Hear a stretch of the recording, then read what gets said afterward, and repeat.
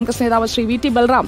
പാലക്കാട്ട് നിന്ന് തന്നെയുള്ള ശക്തനായ കോൺഗ്രസ് നേതാവാണ് V T Balram. Shri V T Balram Sandeep വാര്യരുടെ ഫേസ്ബുക്ക് പോസ്റ്റ് വായിച്ചു കാണുമല്ലോ ബൽറാം? എന്ത് തോന്നുന്നു? എന്താണ് സന്ദീപിന്റെ ഈ തുറന്നു പറച്ചിലിന് പിന്നിൽ? അടുത്ത നീക്കം എന്തായിരിക്കും?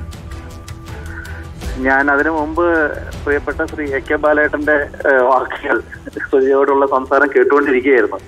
ഞാൻ ഈ സമീപകാലത്ത് കേട്ട ഏറ്റവും വലിയൊരു വിലാപമാണ് അദ്ദേഹം പറയുന്നത്. അദ്ദേഹത്തിന്റെ ഒരു ഇമോഷണൽ ബ്ലാക്ക് മെയിലിംഗ് ആയിട്ടാണ് എനിക്കത് തോന്നുന്നത്. കാരണം നിങ്ങളെപ്പോലുള്ള മാധ്യമ പ്രവർത്തകരൊക്കെ ഈ പിണറായി വിജയനെ കുറ്റം പറയുമ്പോൾ നിങ്ങൾക്കൊക്കെ മരിച്ചു പോകണ്ടേ? മരിച്ചു പോയാൽ നിങ്ങളുടെയൊക്കെ കണ്ണടയോ മനസ്സമാധാനത്തോടു കൂടി ഉറങ്ങാൻ സാധിക്കുമോ എന്നൊക്കെയാണ് അദ്ദേഹം ഗദ്ഗത കണ്ഠനായിട്ട് ചോദിക്കുന്നത്. ഇവിടെ ഒരു സത്യസന്ധനായിട്ടുള്ള ഒരു ഉദ്യോഗസ്ഥൻ സി പി എമ്മിന്റെ ഒരു പ്രധാനപ്പെട്ട നേതാവിനാൽ വേട്ടയാടപ്പെട്ടപ്പോ അങ്ങേയറ്റം അധിക്ഷേപിക്കപ്പെട്ടപ്പോ ആ നവീൻ എന്ന് പറയുന്ന എ ഡി എം ആത്മഹത്യ ചെയ്ത് ആ കുടുംബത്തിന്റെ മക്കളുടെയൊക്കെ മുഖം നമ്മുടെയൊക്കെ മനസ്സിലുണ്ട് അതിന്റെയൊക്കെ ഉത്തരവാദികളായിട്ടുള്ള ആളുകൾ പത്തനംതിട്ടയിൽ ആ എ ഡി എമ്മിന്റെ കുടുംബത്തിനൊപ്പം നിൽക്കുന്നു. എന്നാൽ അതേ പാർട്ടിയുടെ ആളുകൾ കണ്ണൂരിൽ നിന്നുകൊണ്ട് അതിനെ പ്രതിസ്ഥാനത്ത് നിൽക്കുന്ന ജില്ലാ പഞ്ചായത്ത് നേതാവിനെ സംരക്ഷിക്കുന്നു. ഇത് ഒക്കെ കാണുന്ന കേരളത്തിന്റെ മുമ്പിലാണ് ഈ ഉറക്കം കിട്ടായ്മയെ കുറിച്ചും ഒക്കെ A K Balan Shri V T Balram അത് വിട്ടേക്കൂ ഞാൻ അദ്ദേഹത്തോട് പറഞ്ഞല്ലോ എനിക്ക് ഉറക്കം കിട്ടായ്മയുടെ ഒരു ബുദ്ധിമുട്ടുമില്ല. ഉറങ്ങുന്നത് വളരെ കുറച്ച്. സമയമാണ്. ഒരു ദിവസം നാല് മണിക്കൂർ അഞ്ചു മണിക്കൂറൊക്കെ ഉറങ്ങാറുള്ളൂ. ബാക്കി. സമയമൊക്കെ സ്ക്രീനിലുമുണ്ട്. ഈ ചോദ്യത്തിലേക്ക് വന്നു കഴിഞ്ഞാൽ ഈ സന്ദീപ് വാര്യർക്ക് എന്താണ് സംഭവിച്ചത്? എന്താണ് സന്ദീപ് വാര്യർ ഈ ഫേസ്ബുക്ക് പോസ്റ്റിലൂടെ ഉദ്ദേശിക്കുന്നത്? ഞാൻ അതിനെക്കുറിച്ച് പൊതുവായിട്ടുള്ള ഒരു അഭിപ്രായം പറയാം. ഇക്കാര്യത്തിൽ സി പി എമ്മിന്റെയോ ശ്രീ എ കെ ബാലന്റെയോ സമീപനമല്ല ഞങ്ങളുടേത് എന്ന് ഞാൻ ഒന്ന് അടിവരയിട്ട് പറയാൻ ആഗ്രഹിക്കുകയാണ്. കാരണം വ്യക്തികൾക്ക് പലതരത്തിലുള്ള ആഗ്രഹങ്ങൾ ഉണ്ടാവും ആ ആഗ്രഹങ്ങൾ നടക്കാതെ പോകുമ്പോൾ ഇച്ഛാഭംഗങ്ങൾ ഉണ്ടാവും അതിന്റെ പേരിൽ വ്യക്തികൾ അവരുടെ സ്വാർത്ഥ ആഗ്രഹം മുന്നോട്ട് വെച്ചുകൊണ്ട് എന്തെങ്കിലുമൊക്കെ പറയുമ്പോൾ അതിന്റെ പേരിൽ നിലപാട് എന്നൊക്കെ പറഞ്ഞ് എന്തെങ്കിലും പുതിയ ചില മീച്ചിൽ പുറങ്ങൾ തേടി അവർ പോകുമ്പോൾ അതിനെ ആ നിലയിൽ തന്നെ കാണാനുള്ള ഒരു രാഷ്ട്രീയ പക്വത കേരളീയ സമൂഹം ആർജിക്കേണ്ടതുണ്ട് എന്നാണ് എനിക്ക് തോന്നുന്നത്.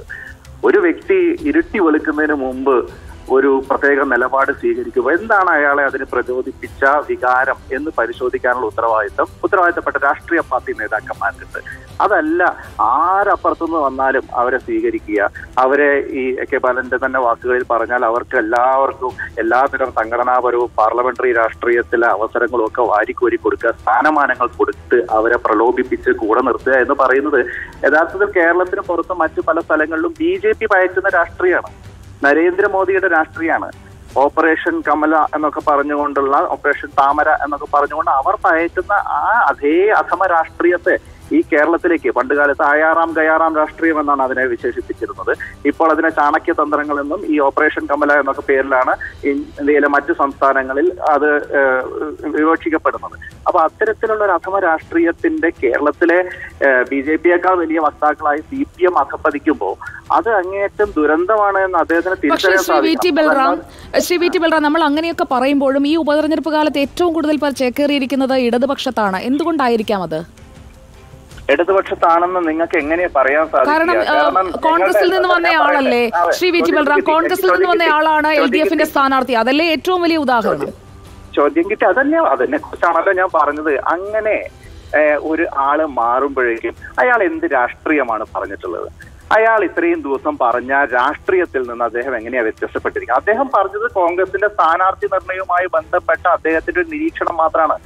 അത് പരമാവധി പോയാൽ കോൺഗ്രസിനകത്ത് മാത്രം ചർച്ച ചെയ്യപ്പെടേണ്ട ഒരു വിഷയമാണ്. കോൺഗ്രസ് മാത്രം ബോധേഡ് ആവേണ്ട ഒരു വിഷയമാണ്. കോൺഗ്രസ് ഒരു ഇലക്ഷനിൽ ഒരു സ്ഥാനാർത്ഥിയെ നിർണയിക്കുമ്പോൾ കോൺഗ്രസിന്റേതായിട്ടുള്ള രീതികളാണോ അത് പാലിച്ചിട്ടുള്ളത്? ആ മാനദണ്ഡങ്ങൾ പാലിച്ചിട്ടുണ്ടോ ഇല്ലയോ എന്നുള്ളത് തീർത്തും ആഭ്യന്തരമായിട്ടുള്ള വിഷയമാണ്. അതിനപ്പുറത്ത് പാലക്കാട്ട് വോട്ട് ചെയ്യുന്ന ജനങ്ങൾ ചേലക്കരയിലെ വോട്ട് ചെയ്യുന്ന ആളുകൾ വയനാട്ടിൽ വോട്ട് ചെയ്യുന്ന ആളുകൾ അവർ കൺസേൺഡ് ആവേണ്ട എന്ത് പുതിയ രാഷ്ട്രീയത്തെ കുറിച്ചാണ് ബൽറാം പാലക്കാട്ടുകാർ കൺസേൺഡ് ആകുന്ന ഒരു കാര്യം നിങ്ങളുടെ പാർട്ടിയിലും സ്ഥാനാർത്ഥി നിർണയത്തിൽ സംഭവിച്ചിട്ടില്ലേ? പാലക്കാട്ട് താങ്കൾ അടക്കമുള്ള നല്ല മിടുക്കരായ ആളുകൾ ഉണ്ടായിരുന്നല്ലോ.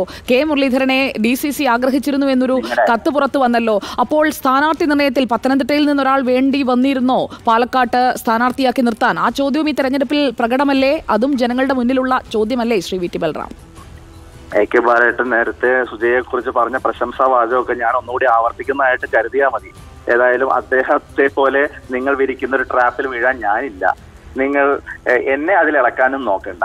കാരണം ഞാൻ പറയുന്നത് രാഷ്ട്രീയത്തെ കുറിച്ചാണ് ഞങ്ങൾ ഈ തെരഞ്ഞെടുപ്പ് അല്ലെങ്കിൽ കേരളത്തിലെ ഒരു വോട്ടർ ഒരു തെരഞ്ഞെടുപ്പിൽ വോട്ട് ചെയ്യാൻ പോകുമ്പോൾ അവർ പരിഗണിക്കപ്പെടേണ്ട വിഷയം ഏതാ? ഇവിടെ ആരെയൊക്കെയാണ് മുൻപ് സ്ഥാനാർത്ഥിയായിട്ട് ആ പാർട്ടിയുടെ ആഭ്യന്തര ഈ പ്രചാരണത്തിൽ ശ്രീ വി ടി ബൽറാം ഷാഫിക്കൊപ്പം നടക്കുന്ന രാഹുൽ മാങ്കൂട്ടത്തിനെ മാങ്കൂട്ടത്തിലിനെ ശ്രീ വി ടി ബൽറാം ചെറിയ ചോദ്യമാണ്. ഷാഫി പറമ്പലിനൊപ്പം നടക്കുന്ന പ്രചാരണ വേളയിലെ രാഹുൽ മാങ്കൂട്ടത്തിലെ ദൃശ്യങ്ങൾ ധാരാളമായി നമ്മൾ കാണുന്നു. വി ടി ബൽറാമിനൊപ്പം നടക്കുന്ന രാഹുൽ മാങ്കൂട്ടത്തിലിനെ കാണാത്തത് എന്തുകൊണ്ടാണ്? ചോദിച്ചത് കഴിഞ്ഞു. എങ്കിൽ നിങ്ങളുടെ പാലക്കാട് റിപ്പോർട്ടർ ശ്രീ റോഷിപാലാണെന്ന് തോന്നുന്നു. ഞങ്ങളെ രണ്ടുപേരെയും ചേർത്ത് വെച്ചുകൊണ്ട് ഇന്നലെ എടുത്ത വിഷ്വൽസ് നിങ്ങളുടെ ആർക്കൈവ്സിൽ കാണും. ഇപ്പോഴും അത് സോഷ്യൽ മീഡിയയിൽ നിങ്ങളുടെ ഇതിൽ കിടക്കുന്നുണ്ട്. ഞാൻ വാട്സപ്പിൽ ആരോ അയച്ചു തന്നപ്പോഴാണ് ഞാനത് കണ്ടത്. ഞാനും രാഹുലും കൂടി വോട്ട് ചോദിക്കുന്ന ദൃശ്യങ്ങൾ. അപ്പോൾ നിങ്ങൾ ഇത്തരം കാര്യങ്ങൾ വിട്ടേക്കുന്നേ ഇതല്ലല്ലോ പ്രശ്നം. ഇവിടെ നെൽ കർഷകരുടെ പ്രശ്നം ഈ തെരഞ്ഞെടുപ്പിൽ ചർച്ച ചെയ്യണ്ടേ? നിങ്ങളൊന്ന് ആലോചിച്ച് നോക്ക്. തൊഴിൽ കിട്ടാത്ത പി എസ് സി റാങ്ക് ഹോൾഡേഴ്സിന്റെ പ്രശ്നം ചർച്ച ചെയ്യണ്ടേ? ലൈഫിൽ അപേക്ഷിച്ച് എത്രയോ വർഷങ്ങളായിട്ടും വീടിനു വേണ്ടി കാത്തിരിക്കുന്ന ആളുകളുടെ പ്രശ്നം ചർച്ച ചെയ്യണ്ടേ? പാലക്കാടിന്റെ വികസന പ്രശ്നങ്ങളെ മുഴുവൻ ഈ ഗവൺമെന്റിന്റെ ഈ രാഷ്ട്രീയ വിരോധം വെച്ചുകൊണ്ട് അട്ടിമറിക്കുമ്പോൾ അതിനെതിരായിട്ടുള്ള ഒരു സാഹചര്യം അവിടെ പാലക്കാട് ഉണ്ടാവണം. അവിടെ ജയിക്കുന്ന ജനപ്രതിനിധിക്ക് വികസന കാര്യങ്ങളിൽ സഹായം ചെയ്തു കൊടുക്കുന്ന ഒരു നിലപാട് അത് സംസ്ഥാന ഗവൺമെന്റിന്റെ ഭാഗത്ത് നിന്ന് ഉണ്ടാവണം. നഗരസഭ ഭരിക്കുന്ന ബി ജെ പിയുടെ ഭാഗത്ത് നിന്ന് ഉണ്ടാവണം. ആ രാഷ്ട്രീയം നമുക്ക് അവിടെ ചർച്ച ചെയ്യണ്ടേ പാലക്കാട്.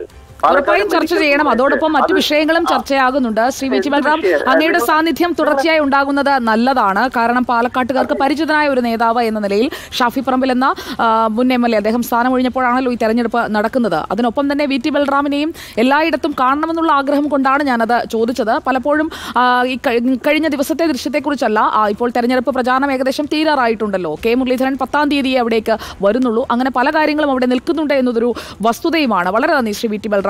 പ്രതികരിച്ചതിന് അതുകൊണ്ടാണ് ആ ചോദ്യം താങ്കളിലേക്ക് ചോദിച്ചത്.